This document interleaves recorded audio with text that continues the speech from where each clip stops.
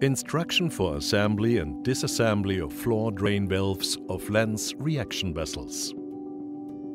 Reaction vessels are sometimes subject to high temperature fluctuations. Due to the large difference in the expansion coefficients of borosilicate glass and the PTFE spindle of the bottom drain valve, usage faults can induce dangerous stress. This may cause the reaction vessel to break which of course implies the danger of injuries and economic losses. In order to prevent this from happening, Lenz reaction vessels are equipped with safety valves. The valve spindle is spring-loaded so that no additional mechanical stress occurs when the temperature changes. Please follow these instructions carefully to ensure that the safety feature works. Configuration of the valve locking spring. Connecting nut.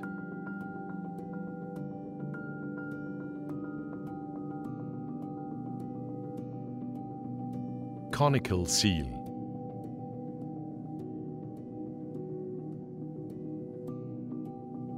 Spacer ring. Pitch of spring. Installation of the valve. Make sure that there is no visible damage to the valve. Remove adjusting screw completely and then screw it in again circa 5 mm. Place the connecting nut on the valve's glass part so that the bore on the side points to the reaction vessel.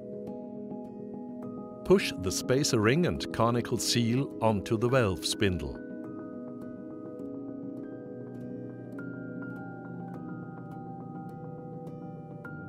Insert the valve spindle into the glass part. If valve spindles are difficult to assemble, insert the spindle using gentle circular movements.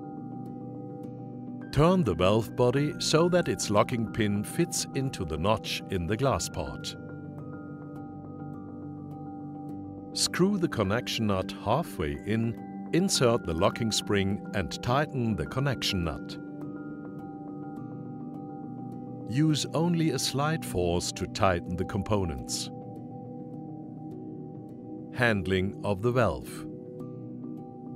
To close the valve, screw the adjusting screw in until the spindle hits the valve seat.